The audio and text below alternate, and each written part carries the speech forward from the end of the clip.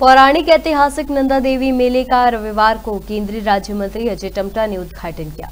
इस अवसर पर विधायक मनोज तिवारी समेत गणमान्य मौजूद रहे। राज परिवार के चंद रंजवंशी ने विधि विधान से पूजा अर्चना जारी रखी। देर रात केलो खान के आह्वान के बाद माँ नंदा सुनंदा की मूर्ति बनाई गई। बता दें, मेले में दर्शन के लिए लाखों श्रद्धालु उमड़ते हैं। इस मेले के अवसर पर केंद्रीय मंत्री ने कहा, माँ नंदा का आशीर्वाद सभी को फलदायी है। साथ ही यहाँ की लोक परंपरा कायम रखने की उम्मीद जताई है। नंदा देवी का यह मेला ऐतिहासिक है सांस्कृतिक है। कुमाऊं की ये अल्मोड़ा राजधानी रही है जिसका अपने आप में बहुत पौराणिक समय से अपने आप में जो कुमाऊं की संस्कृति है कुमाऊं का जो कल्चर है कुमाऊं की परंपरागत शैली है।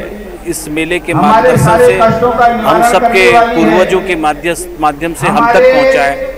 और ये हमारे आने वाली पीढ़ी तक अनंत समय तक चलता रहेगा। और इसका प्रभाव हमारे पूरे कुमाऊं गढ़वाल पूरे उत्तराखंड वासियों के अंदर है। एक शक्तिपीठ है। इस शक्तिपीठ का आशीर्वाद। देवी का ये मेला लगभग 208 वर्ष पूर्व से चला रहे मेला है। तो इस नंदा देवी मेले का अपना बहुत बड़ा महत्व है चाहे इसका धार्मिक हो पौराणिक हो ऐतिहासिक महत्व है।